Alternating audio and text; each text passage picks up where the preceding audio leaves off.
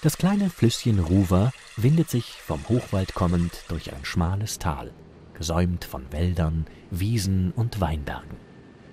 Zwischen Sommerau und der Mündung in die Mosel östlich von Trier wird seit über 2000 Jahren Weinbau betrieben.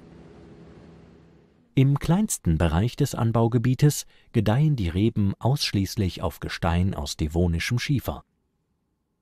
Bedingt durch das enge Tal werden die Weine hier fast ausnahmslos in Steillagen und an Südhängen angebaut. Die Weinberge der Ruwer liegen etwas höher als an der Mosel.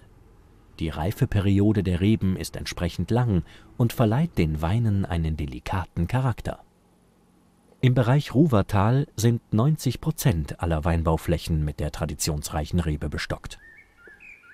In weitaus kleineren Mengen werden Blauer Spätburgunder und Weißburgunder angebaut. Das Ruwertal ist höher gelegen als die übrigen Anbaubereiche der Mosel. Dadurch haben wir etwas niedrigere Durchschnittstemperaturen. Aber der Schiefer als Wärmespeicher sorgt an den Südhängen der Ruwer für optimale Wachstumsbedingungen. Optimale Wachstumsbedingungen sieht man auch in der Farbe. Wir haben ein strahlendes Gelb, grüne Reflexe und brillante Nuancen. Und auch geruchlich hat der Wein einiges zu bieten. Fruchtige und kräutrige Aromen, bei der Frucht vor allem Stachelbeere und, etwas untypisch für den Riesling, er erinnert auch an rote Beeren. Ja, die roten Beeren, was Besonderes fürs Ruwertal, finden sich auch am Gaumen wieder. Also fruchtige Komponenten, aber auch natürlich etwas Filigranes, Frisches, Belebendes. Richtig saftig ist dieser Wein. Und geschmacklich passt dazu sicherlich sehr gut etwas Gebratenes. Ein Thunfischsteak mit Pfeffermantel könnte ich mir dazu sehr gut vorstellen. Das Tal der Ruwer verbindet den Hochwald mit der Mosel und beschert Naturfreunden eine spannende Flora und Fauna.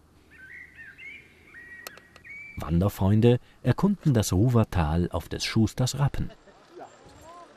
Mensch und Tier können aber auch das Rad oder andere Fortbewegungsmittel nutzen.